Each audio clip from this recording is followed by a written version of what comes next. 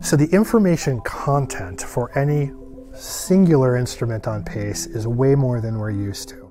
So suddenly, the tools you have at your fingertips will fill in all the gaps of color that we could possibly want. The, the amount of information we're gonna have to work with. We know that it has warmed our atmosphere.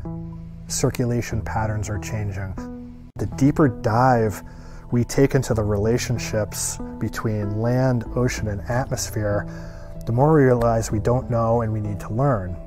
NASA is preparing to take that deeper dive with the Plankton Aerosol Cloud Ocean Ecosystem Mission, or PACE.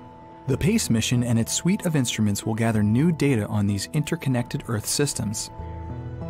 PACE will improve our understanding of these complex connections and how these systems are affected in a changing climate. The color of the oceans can tell us a lot about our changing Earth systems.